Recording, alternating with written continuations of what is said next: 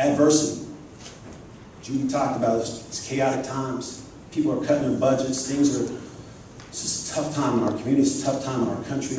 It's tough. Adversity. As we all know, many of you in this room, we realize in life, adversity is coming. It's inevitable. At some point in our life, we're going to be faced with adversity. And when adversity comes my way, I'm reminded of one man, Derrick Brooks.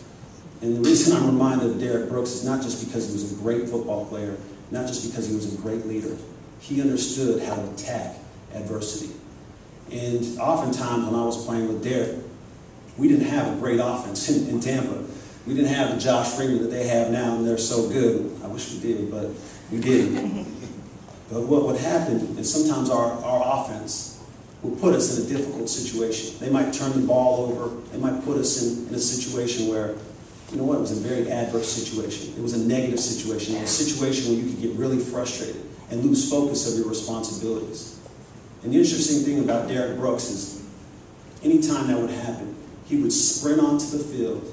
He would get on the field before everybody else. And as we would come on the field, kind of heads maybe down, frustrated and, and mad and angry at our offense, Derrick would look at us and he'd yell at us.